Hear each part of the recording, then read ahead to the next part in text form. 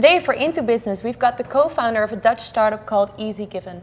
With their online business, EasyGiven tackles a problem we all know. Aki, can you please tell us how EasyGiven helps us? Well, the problem occurs when we're collecting money. As an organizer, this can be a real hassle.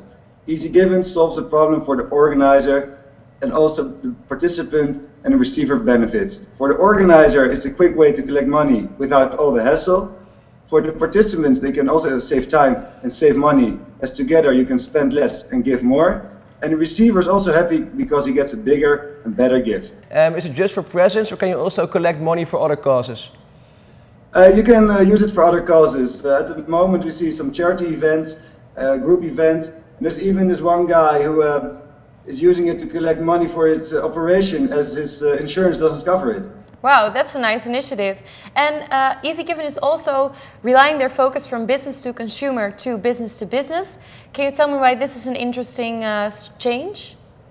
It's not so much not so much a change. I think uh, business to consumer as business to business is equally important for us. Actually, they enhance each other. But what the B2B API enables is for other web shops to give their current clientele the possibility to use group gifting uh, this enables them to uh, have extra sales on higher uh, margin products. Okay, cool. And what's your ultimate goal with your company?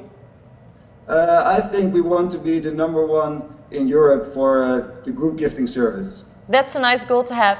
And what was the coolest present or raising fundraising that you've had with Easy EasyGiven? Uh, I think at the moment there's a very cool uh, event. It's called Expedition Why Not. It's a Dutch guy. He's going. He went with his bike from Holland to India. He's collecting money for an orphanage house, and uh, so far they collected more than 25,000 euros. More wow. than 25,000 euros. That's a lot, Aki. Very nice to see that EasyGiven uh, provides all of these cool initiatives. Thank you so much for your time.